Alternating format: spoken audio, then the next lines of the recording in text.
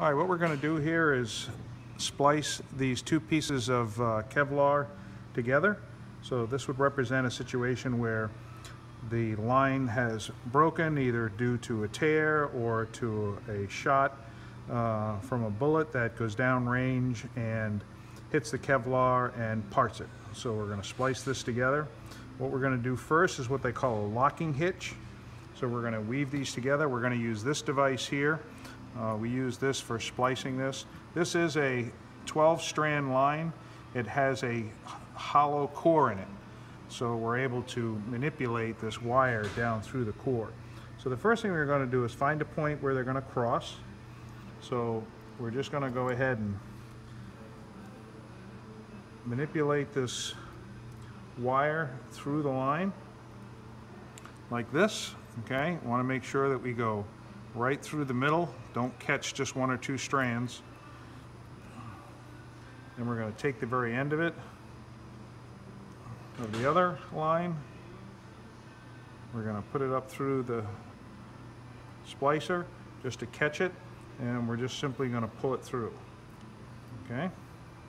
Now we've pulled it through. Now the key here is, is now we have to take this one and pass it through the one that we just passed through the second one. So this is side B and this is side A. We just put A through B. Now we got to put B through A. So we're going to go ahead and again pick that spot out and we're going to push the splicer through the line. Again going through the middle. We're going to take the line and put it into our splicer. Again, we just need the bitter end, just enough to catch it, and we're going to pull it through. Now the key that this is a locking hitch, as you can see, is I can go ahead and pull these and they're not going to pull apart. Okay, so now we're going to go ahead and then lock these two. And this is something similar to what people used to call uh, the Chinese hair splice. What we're going to do is take this part and we're going to bury it down through the center of the core. So we measure out how long this is. We usually, for this size line, a good three to four inches is going to be enough. We're going to take the splicer and we're going to work it into the center of the line.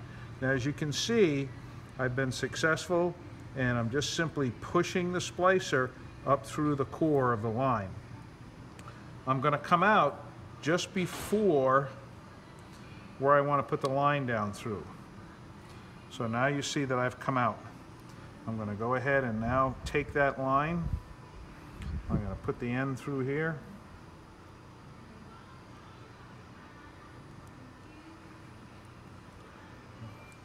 Once I've caught it, I'm going to go ahead and just manipulate it down through. And you got to twist a little bit and just pull. As you can see, it's going right down through the center and it's going to come out here. And I'm going to go ahead and pull on it. Okay. Now I'm going to do the same thing on the other side. I'm going to go down through.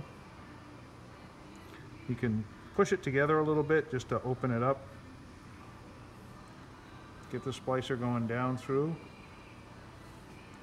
I'm going to come out right next to where I want this line to go in.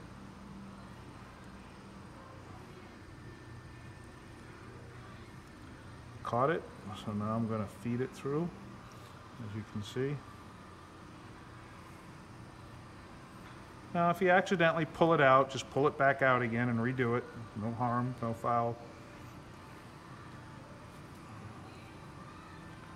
So now I've gone ahead and pull these through. Now I've got some sticking up. I want to get rid of that, so I'm going to go ahead and pull that extra down. I'm going to cut it off.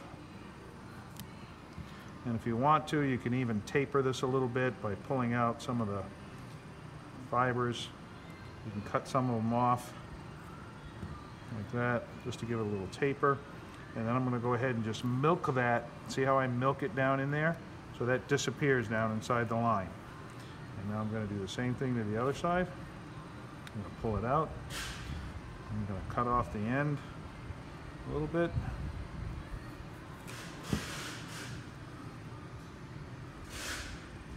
I can taper it just a little bit, just so there isn't a hard change.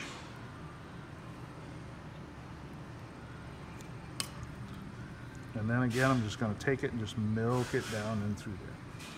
So there we go. We have spliced the line back together. We've increased the diameter just slightly, but not really enough for most of the pulleys that this is going to operate through on a pistol range to move the target up and down through the range. That should pass nicely right through the range. And we've maintained our integrity and our strength. As you can see, I can go ahead and just crank on that and it's just as strong as it was in the beginning. So again, that's a short splice with our splicing tool.